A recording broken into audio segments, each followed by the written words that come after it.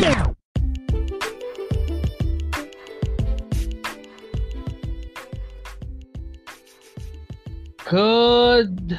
afternoon, students. It is so good to have you for lecture four for General Chemistry 1. Chemistry 127N. It is so good to have you. So good. So I hope everyone's doing well. So let's begin with the lecture for today. For today. Um, the introduction or the, uh, these are the main tenets or the main ideas that I want you to keep in mind as we go throughout this lecture. Let's talk about the first section. Electronic structure of an atom describes the energies. So we know that energies are quantized, and Planck's equation gives us the insight into that quantized energy. And the arrangement of the electrons, which Bohr described, Schrödinger explained, all of those things around the atom. Much of what is known about the electronic structure of atoms was obtained by observing the interaction of light with matter. We saw this with the Young slit experiment and also with atomic emission spectra. Visible light and other forms of electromagnetic radiation, whether you have your gamma, your X rays, your ultraviolet, your visible light, your micro, your infra, infrared radiation, and your radio waves. That's it from high frequency to low frequency. Electromagnetic radiation um, moves through a vacuum at the speed of light, 3.00 times 10 to the 8 meters per second. Electromagnetic radiation has both electric and magnetic components that vary periodically in wave-like fashion. The wave characteristics of radiant energy allow it to be described in terms of wavelength, lambda, and frequency, nu, which are interrelated. c, which is the speed of light, is equal to the lambda times nu. So lambda times nu equals c. Okay, section 2, we'll talk about, um, we'll talk section 2 in the book, deals with Planck's equation we know Planck's equation is E equal to h nu. And what Planck basically described, he gives the idea that the minimum amount of radiant energy that an object can gain or lose is emitted, is related rather, to the frequency of the radiation. E equals h nu. The smallest quantity is called a quantum of energy. The constant h is called Planck's constant, and Planck's constant is equal to 6.626 times 10 raised to the minus 34 joules per second, joules times second, so joules second. In the quantum theory, energy is quantized, meaning that it can only it can have only certain allowed values. Einstein used the quantum theory to explain to explain the photoelectric effect. The emission of electrons from metal surfaces by light we explained that in which you have light shining on a metal surface, that the frequency of light results or the energy associated with that electromagnetic radiation results in the excitation of the electron and it being emitted because the energy that it, it releases or the energy associated with the electromagnetic radiation overcomes the binding energy of the electron resulting in the emission of the electron hence you have the photoelectric effect he proposed that light behaves as if it consists of quantized energy packets called photons. That's where we get the idea of photons from. Each photon carries energy E equals h nu. So Planck's equation and Einstein's idea of, photo, of the photoelectric effect coincides well. Then we have dispersion of radiation into its component wavelengths. It produces a spectrum, and we understand that a continuous spectrum is a, like a rainbow. It consists of all of the wavelengths it's a continuous spectrum of light in the visible region. That's what a rainbow is. It is called a continuous spectrum. If it contains only certain specific wavelengths, the spectrum is called a line spectrum. And we see this with AES, or atomic emission spectrum. The radiation emitted by excited hydrogen atoms forms a line spectrum. The frequencies observed in the spectrum follow a simple mathematical relationship that involves small integers. Bohr proposed a model of the hydrogen atom that explains its line spectrum. In this model, the energy of the electrons in the hydrogen atom depends on the value of a number n called the quantum number. The value of n must be a positive integer 1, 2, 3, or other integers, and each value of n corresponds to a different specific energy, En. And we see the value or we see the notation of n in the Rydberg equation, which is 1 over lambda equals the Rydberg constant in brackets 1 over the final state or nf squared minus 1 over the initial state or 1 over ni squared in brackets. And that gives you the that gives you the values for the uh, energy associated with transitioning from one stationary state or one quantized state to another. Bohr proposed a model of the hydrogen atom that explained its line spectrum. That's why his model was so important. In this model, the energy of the electron in the hydrogen atom depends on the value of n. And also, um, one of the things we understand from Bohr's model is it, it addressed the hydrogen atom well, however, it didn't really address other atoms as well. And then it also didn't address the phenomena or the occurrence of what happens whether or when an electron uh, was to fall into the nucleus. Didn't address that. However, in the classical paradigm, that typically does not occur. So, section 6.4, we now talk about wave particle duality with de Broglie, in which he basically said that matter has both wave like and particle like property. Hence, we have the duality of waves and particles, or wave like and particle like properties. His hypothesis of matter waves was proven experimentally by observing the diffraction of electrons. And this occurred with the Germer Davis Germer experiment, which was the diffraction of electrons as they passed through a crystal of a metal. And it also also we talk about Heisenberg uncertainty, in which we basically say there's an inherent limit to the accuracy in which we can know or by which we can know the position and momentum of a particle. There's an inherent limit. So either you, the more you know about, another way to put it is the more you know about the position, the less you know about the momentum in terms of a particle such as an electron. Heisenberg uncertainty, it points towards based on the idea that quantum mechanical behavior um, does not translate exactly um, into macroscopic observations. Um, what, what does all that mean? It means that because for example heisenberg uncertainty is negligible for atoms or for not for atoms for uh, substances or for objects such as a tennis ball. There's no uncertainty in terms of its position and momentum. Um, you can have you can determine those things with a great degree of accuracy. Or there's less uncertainty negligible uncertainty that's a better way to put it. But for an electron there is uncertainty and hence we have this quantum strangeness hence we have this wave particle duality it's just there's a lot going on, and that's why we have to look at uh, Schrodinger's equation, in which he explains the behavior of electrons, the behavior of atoms using wave functions. And from those wave functions, we also understand that those wave functions give us an idea. They give us an idea in terms of the probability density, in which you know the specific location of an electron for a specific for a point in on the atom in the atom and then you have the radial density in which you know the location at any point. Um, so probability density is a more specific descriptor. Radial density is more general. And Then you also know n, m sub l, l, m sub s, n the principal quantum number, and that gives you an idea of the energy associated with the orbital, how large it is. Um, and then you also have L, which is the angular quantum number, which gives you an idea of the shape. And then you also have m sub l, which gives you an idea of the orientation of that, the shape of that orbital. And then you also have m sub s, which gives you an idea of whether the electron is spin up or spin down. So all of these ideas are giving us better and better and better descriptions of the electrons in the atom. Now, different representations, whether it be the radial probability function or the probability density function, these ideas. And then from there, we proceed on to principles, whether it be Pauli's exclusion principle, Hund's rule, or Aufbau principle. Pauli's exclusion principle basically states that no two electrons can have the same four quantum numbers. And what are those four quantum numbers?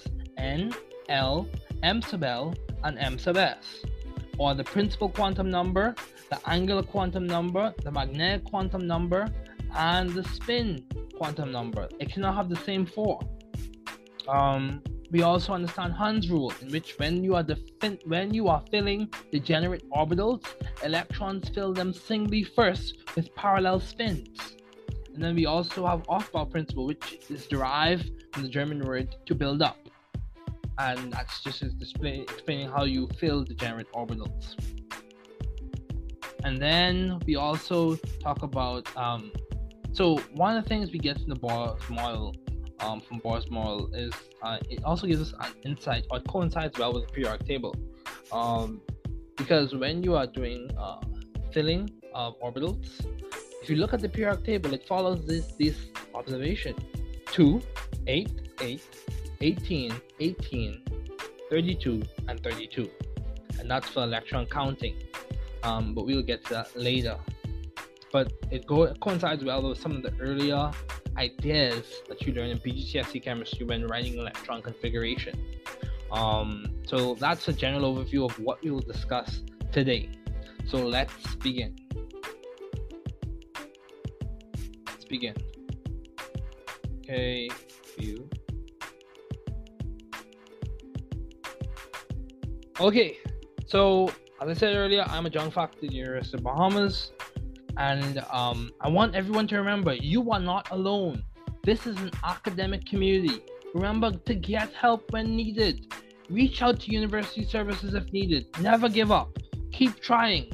We are here to help you be ethical, intelligent, and responsible and successful scientists.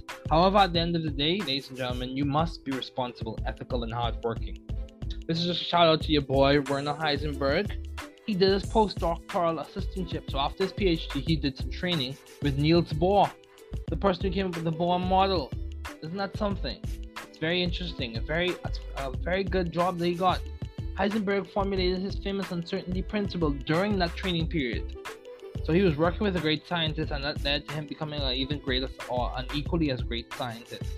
It's interesting to note and at the age of 25, he became the chair in theoretical physics at the University of Leipzig, that's in Germany or in Eastern Europe. At 32, he was one of the youngest scientists to receive the Nobel Prize. That's very commendable, very commendable. So, keep track of your work, keep track of your assignments. Remember, the goal of this class is to teach the chemistry content in an engaging manner that is relevant to the Bahamian student and digestible for their understanding. The sequence is as follows understand the fundamental concept, practice problems related or relevant to understanding that fundamental concept, learn more nuanced details about the fundamental concept, and practice more complex problems that integrate the details and the fundamental understanding. So, a practical example of this is we look at the Bohr model. We practice problems or we do the pictures in the workbook with the Bohr model. Then we learn nuanced details in which um, Bohr model leads to an understanding or helps us understand what Schrodinger was trying to work on and how Schrodinger's equation is so significant because it not only explains the structure or the properties of the hydrogen atom, but it also explains using the computational power that we have today, it explains the behavior of many multi-electron atoms. And that is a nuanced detail. And then we practice more problems. And those problems can involve Rydberg's equation. All those problems can involve looking at quantum numbers.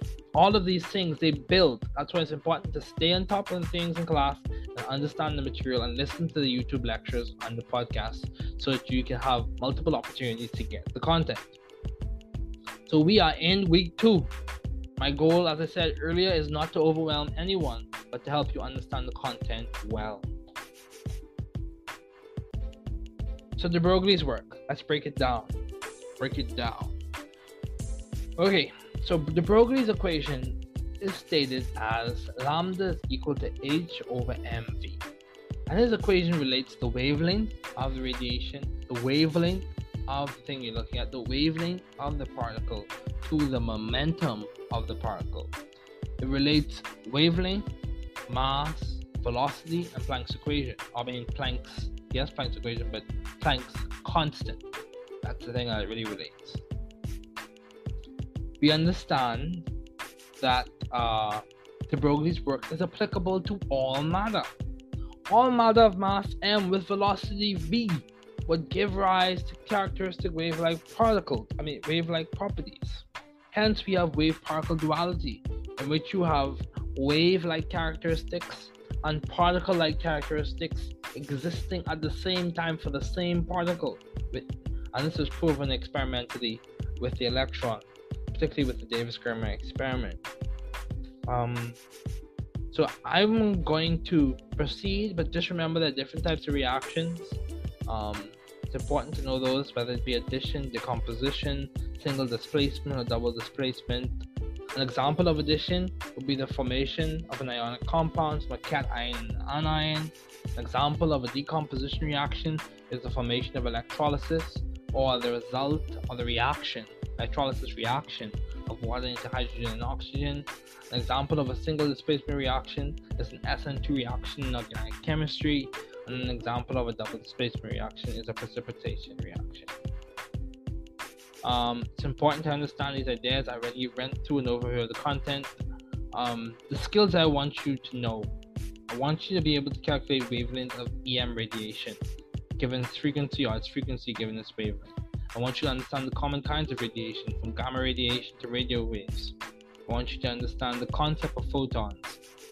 And we understand the concept of photons because Einstein described how energy and EM radiation is quantized and exists in particles, quant- quantized amounts called photons. Um, I want you to understand and explain the Einstein spectrum. The Bohr model coincides well with that. I want you to be familiar with the wave-like properties of matter. De Broglie's ideas coincide well with that. I want you to understand uncertainty principles, the uncertainty principle, and Heisenberg uncertainty, which specifically refers to the fact that the more we know about the position of an electron, the less we know about its momentum. We cannot know about those things with the same degree of accuracy in the same instance. Um, uh, I want you to understand radial probability functions, which you which basically describes where the electron is at any point in space in the atom. I want you to understand energy level diagrams, Pauli's exclusion principle, which no two electrons can have the same four quantum numbers, Hund's rule, in which when you fill in degenerate orbitals, you fill them singly first with electrons, and those electrons have parallel spins. You see this example of this in, when you fill in p orbitals initially for the first three electrons. I want you to be able to use a periodic table to write previous electron configurations from the S block on the right, on the left, to the P block on the right, to the D block in the center, to the F block below, SPDF, which are which are descriptors or designated uh, letters that coincide well, that coincide very accurately with the angular momentum values, whether it be zero for S, L equals zero equals S, L equals 1 equals P, L equals 2 equals D, and L equals 3 equals F. Those are the designated things. I want you to understand those things. And SPDF, it just comes from the descriptions of the terms or the words sharp, principal, diffuse, and fundamental. So let's talk about the characteristics of electromagnetic waves. Electromagnetic waves, like like most waves, they have wavelength, they have frequency, they have amplitude, they have crest, they have trough, they are transverse waves. They propagate in a horizontal and also vertical direction. Um, yes, you have your different types of radiation, you have your gamma rays, your X rays. I hope you see as you look at this diagram that where the frequency is 10 to the 20, um, gamma rays, the wavelength is 10 to the minus 11. And as you increase the wavelength, the frequency decreases as you move from left to right. As you increase the wavelength, the frequency decreases. So, although the wave model is a description of light, several phenomena need to be explained. The emission of light from hot objects, black body radiation, and Planck's equation does a good job with explaining that. The emission of electrons from the metal surfaces, Einstein's ideas with the photoelectric effect do a good job of explaining that. And then the Bohr model explains tenet 3, or caveat 3, in virtue of the emission of light from electronically excited gas atoms. And that occurs, um, or that we understand the phenomena by observing emission spectra. So, key principles to know Werner Heisenberg came up with the Heisenberg uncertainty principle, and that uh, that was very important. Very, very important. Make sure you put the Werner before we proceed. Werner. Yes, Werner Heisenberg at the beginning of this lecture. That's the person we're talking about.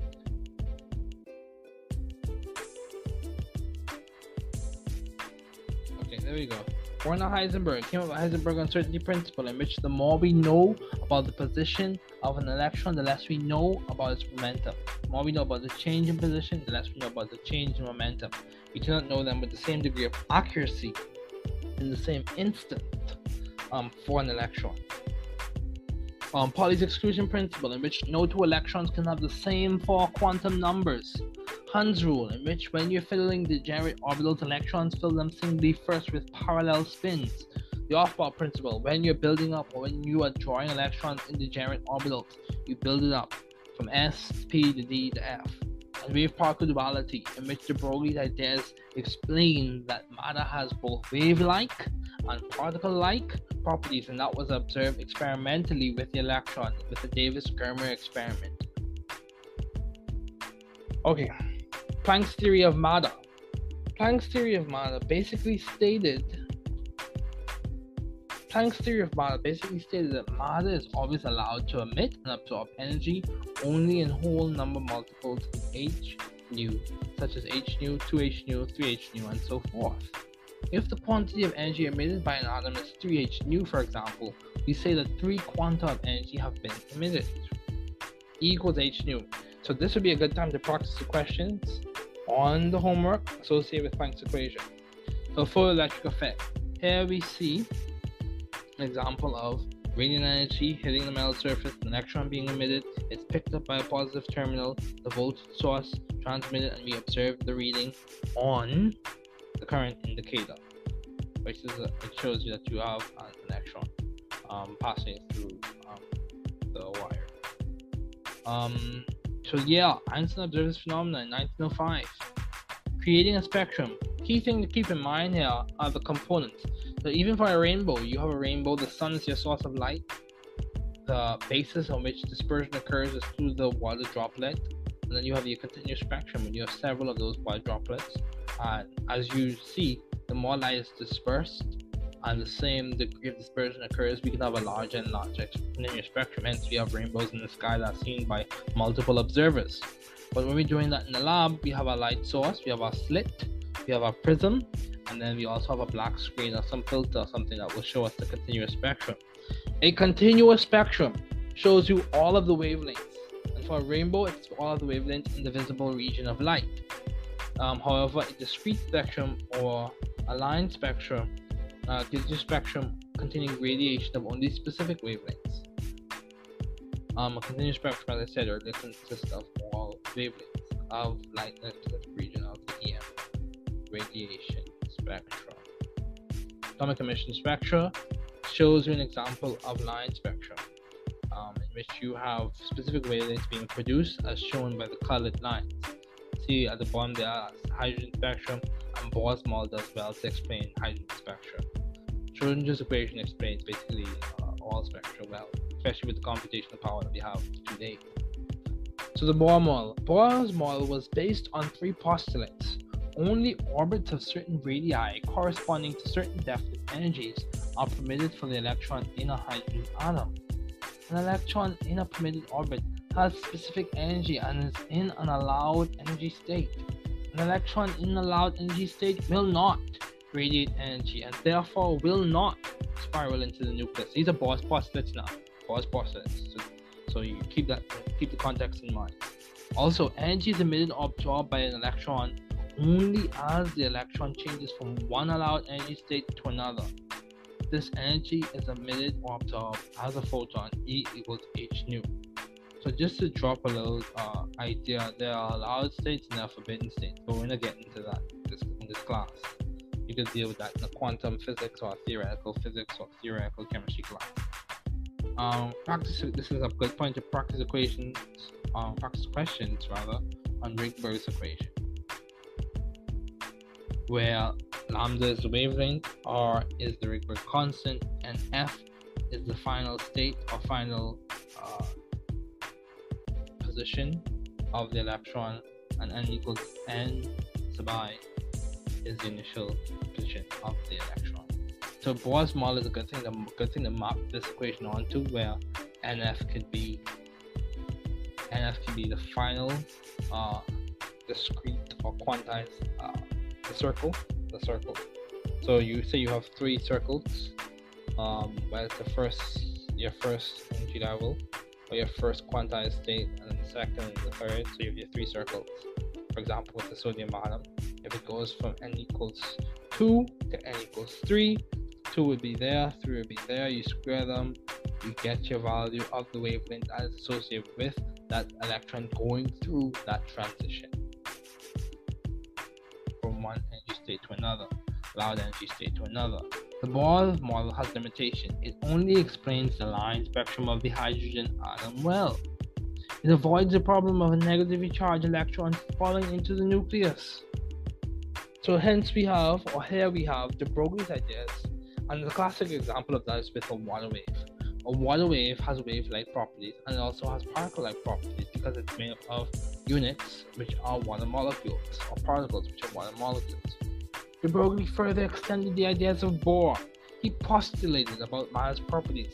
If radiant energy could behave in a particle-like way under appropriate conditions, could the electron be thought of as having wave-like and particle-like properties?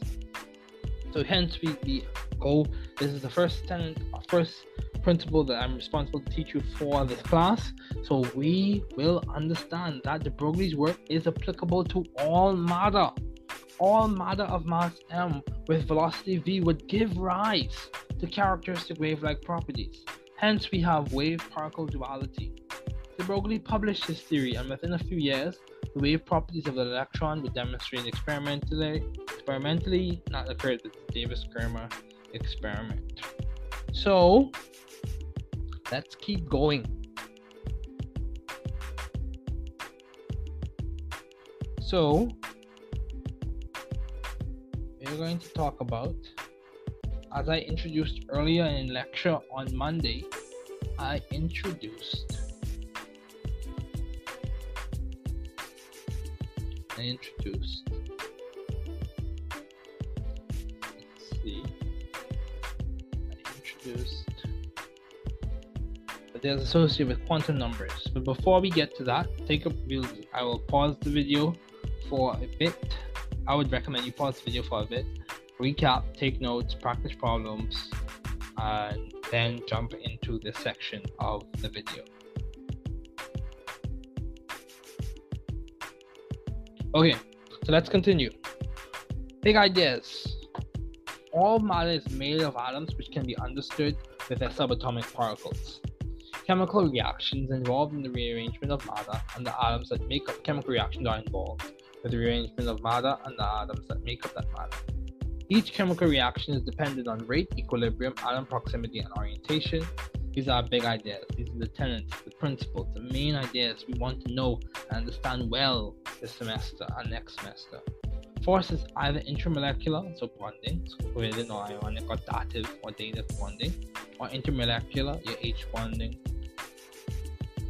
your London dispersion forces, all of those things explain the properties of the substance. Um, dipole dipole interactions, intermolecular bonding, all those things. Um, van der Waals interactions. And five, equilibrium, rate, atom proximity, and molecular orientation and a chemical reaction are mathematically related. So, the names of the scientists in science history are Albert Einstein, Niels Bohr, Louis de Broglie, Max Planck, Werner Heisenberg, Paul Dirac, and Erwin Schrödinger. These scientists made tremendous contributions to physical chemistry and physics, from Einstein's theory of relativity and the study of the photoelectric effect to Heisenberg's uncertainty principle. All these ideas are useful in science today. Schrodinger's equation describes the behavior of electrons in the atoms. It gives us information to transcribe the electronic configuration of atoms with the periodic table as an aid. So the goal was to Bahamianize quantum chemistry. Erwin Schrödinger was a Nobel Prize winning Austrian Irish physicist who worked on developing key ideas in quantum chemistry. His equation allows for the calculation of eigenstates of a system as well as the dynamic changes in time. Erwin Schrödinger spent most of his life as an academic, winning the Nobel Prize in 1933 along with Paul Dirac. Very intelligent young, very intelligent person. Schrodinger's wave equation discovery occurred in 1926 and it came about from being convinced that atomic spectra should be derived from eigenvalue problems. We see an example of Schrodinger's equation. So, um,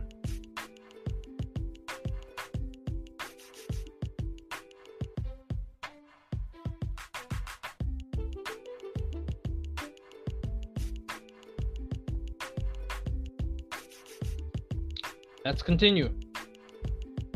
Schrodinger's equation results in many solutions, and each wave function has a corresponding orbital associated with it. The orbital and the respective electrons are specified by four quantum numbers. Hence, uh, listen to the operative word specified. These are specified descriptors. So we have the principal quantum number, the angular quantum number, the magnetic quantum number, and the spin quantum number. So Schrodinger's equation is h psi equals e psi, where h is the Hamiltonian. These are just mathematical operators. Don't get lost in the details. The main idea to remember is his equation. Initially, or when they first uh, when it first came about, it worked well for the hydrogen atom. But when computational power was revved up, as we have today, it basically explains all behavior of all atoms. That's a powerful equation. Um, it gives us insight into chemical reactivity and all those things. But the four descriptors I want you to keep in mind are the principal quantum number n, the angular quantum number L, the magnetic quantum number m sub L, and the spin quantum number n sub S. The principal quantum number is an integer value that describes the overall size and energy of an orbital the energy associated with the orbital is negative because the electron's energy is lowered via Coulombic interaction with the nucleus. Orbitals that have higher integer values for the principal quantum number have energies that are less negative. Moreover, as the principal quantum number increases, energy changes between the subsequent energy levels typically is less. And that, that, that, ties into ideas of penetration and shielding, but we are not, we haven't reached there yet because when you, I'll just give you a quick hint into what that's referring to in terms of energy changes between the subsequent energy levels typically is less. Coulombic interactions result between particles of opposite charges result in lower potential energies. So if you have lower potential energies due to penetration of those orbitals nearer to the nucleus, that's going to result in you having subsequent energy levels with changes. Energy changes are less. So let's talk about L. The angular momentum quantum number is an integer that describes the shape of the orbital um, values from 0 up to n minus 1.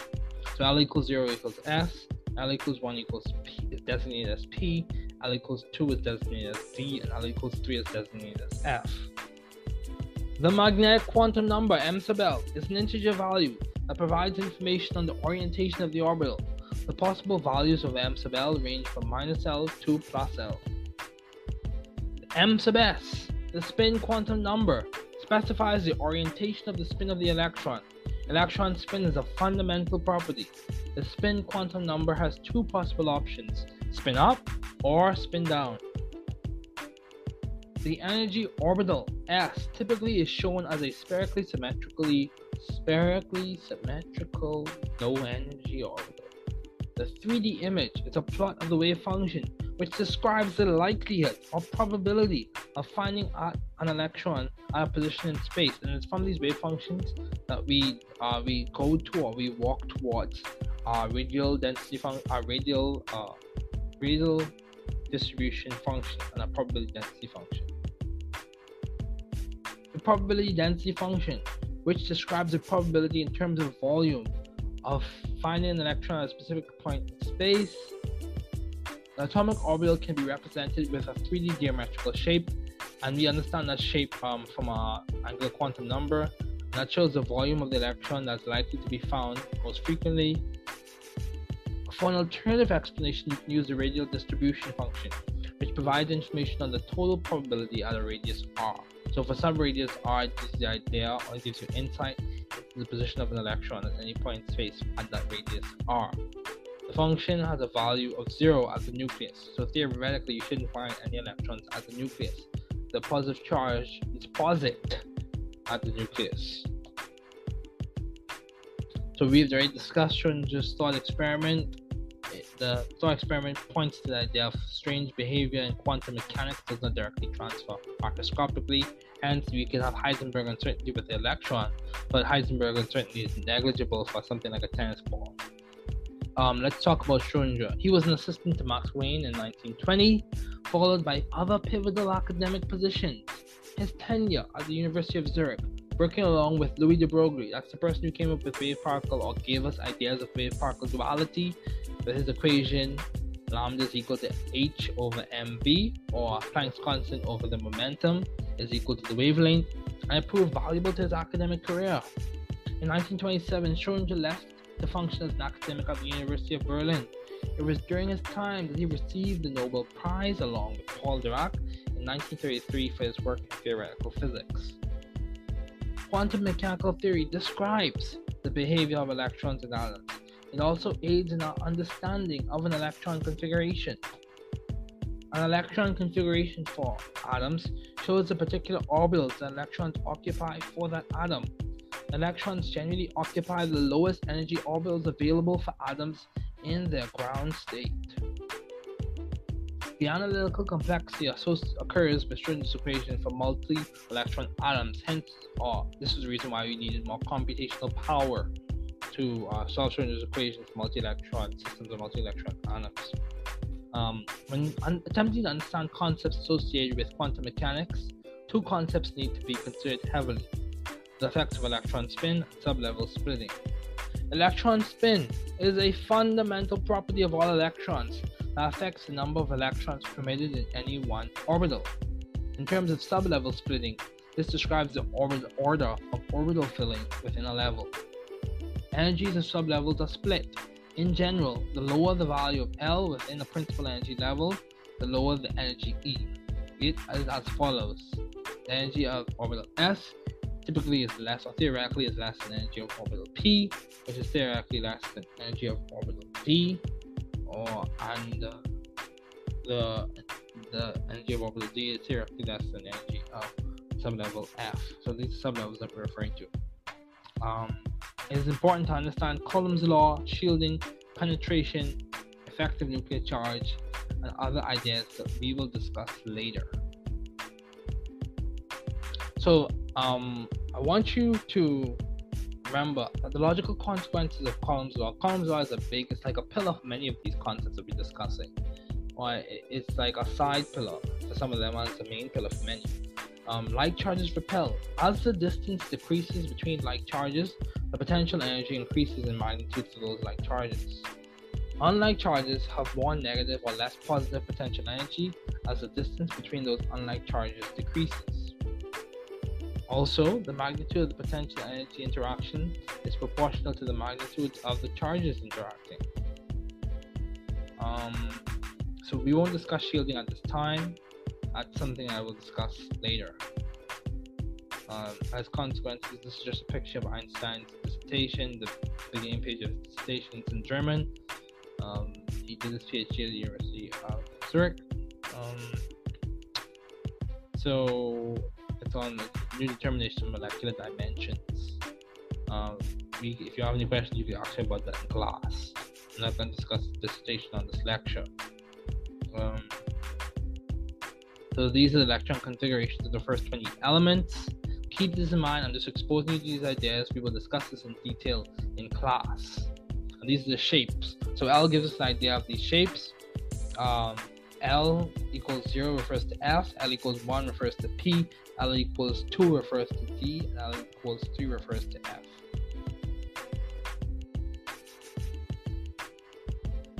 So, in relation to the photoelectric effect, it was observed that metals emit electrons when light shines on them. Um, Einstein and Max Planck were some of the first scientists to suggest that energy is quantized. It was a task for you to, to look into. I want you to go and research the prize in physics for 2018 draw and explain the interference pattern from two slits and explain how that relates to Young's double slit experiment. Those, those are assignments for you students to do. According to classic electromagnetic theory, the photoelectric effect occurred due to the transfer of energy from light to an electron in the metal, resulting in the dislodgement of the electron. Um, some of the key equations to know are E equals h nu or E equals hc over lambda, where E is energy, h is Planck's constant, v is frequency, and c is the speed of light, and lambda is wavelength.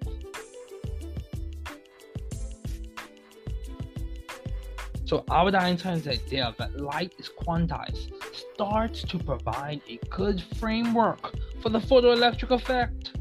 The equation for the kinetic energy of the electron is Ke sub Ke uh, of the electron, the kinetic energy of the electron is equal to h nu minus psi, or phi rather, um, and that phi is just referring or is representative of the binding energy. So I want to discuss this idea. It is possible to separate light into a series of colorful lines that we call emission spectra. The spectrum for a particular element is characteristic of that element.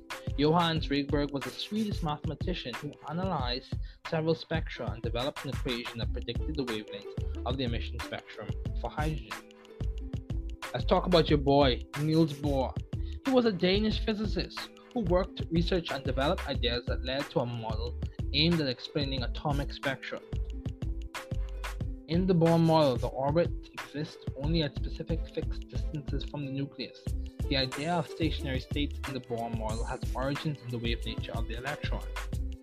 With an understanding from the Bohr model, we can describe the spectral lines as a result of when an electron falls from a stable orbit to a lower stationary state or orbit. Here we have Rydberg's equation, and this is Rydberg's constant.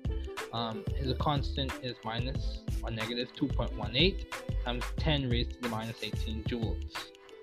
Rydberg's work on equation, which equates wavelength and orbital energy states, um, helps us understand atomic emission spectra.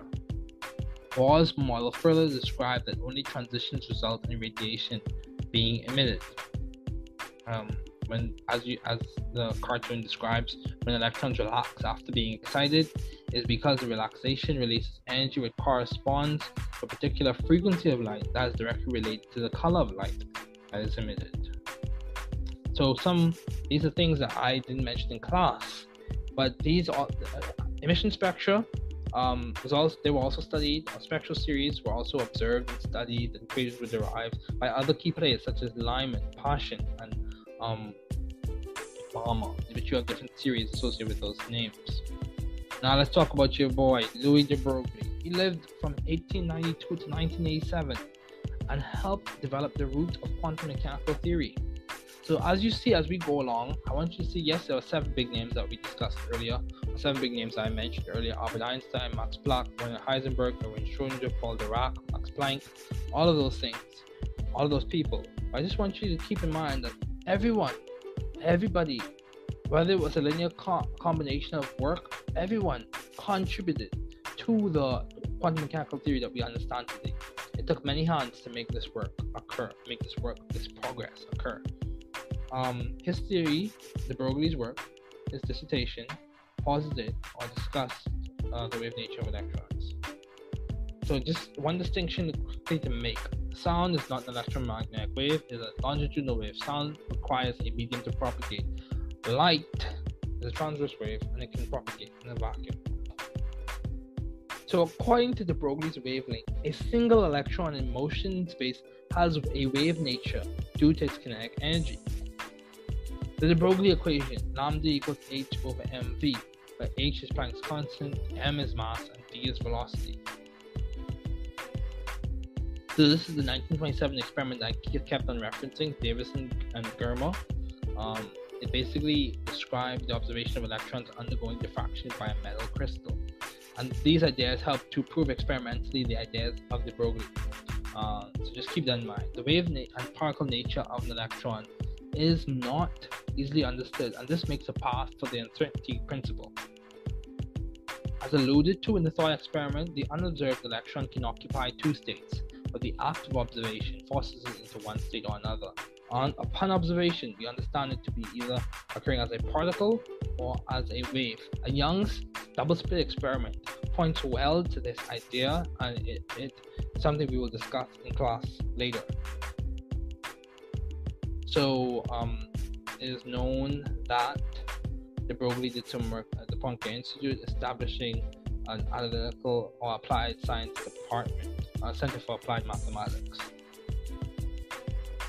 And we also we I cannot forget to mention Max Planck, the law of work in EM, um, electromagnetic uh, theory, electromagnetic radiation. His work laid the foundations for quantum theory. He won the Nobel Prize in Physics in 1918.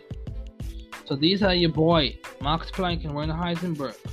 Um, they also published papers with leaders in the field such as Max Born, the Born Oppenheimer approximation. You keep just think about that. And Pascual Jordan, you have with um, if you discuss or look into linear algebra, you see um, Jordan. But these are just people you want to keep in mind. Just keep them in mind. Good to know.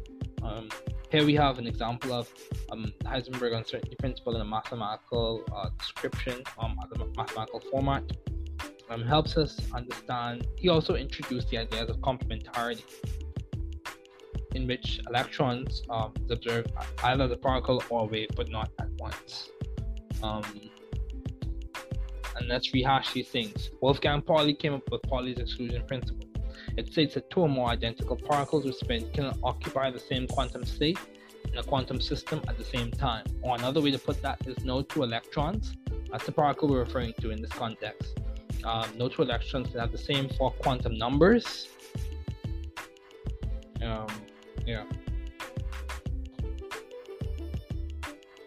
Okay, and then you also have Hund's rule. Hund's rule refers to a set of rules that the German physicist Friedrich Hund in 1927 um, stated, and put simply, they put that the, the electrons fill the gen orbital singly before they pair. You can look up the technical descriptions of Hund's rules uh, but that's not necessary for this class. Just understand what he's saying, the general, the essence of what he's saying. Keep in mind, keep in mind, ladies and gentlemen, that the learning journey is, like I said, a journey. Be patient with yourself. Practice problems intentionally to improve your acumen and skill. That's where we're going to end off today. Um, hopefully you learned something, and, and if not, go back and re-listen to the video, take notes, we will discuss um, new ideas in lecture. We will really hammer in the Pauli's exclusion principle, Hund's rule, Heisenberg uncertainty, and we will tie that to the electron configuration. As we practiced last in class, we discussed uh, Bohr model and we did Bohr models. We wrote Bohr models from Bohr, boron, carbon, nitrogen, oxygen, and neon. And I gave you the Bohr packet, uh, Bohr model packet. So just practice your problems, go through the homework and really understand what's going on. It's good to have you, good to see you in class, and I hope you are doing well. This is the end of the lecture.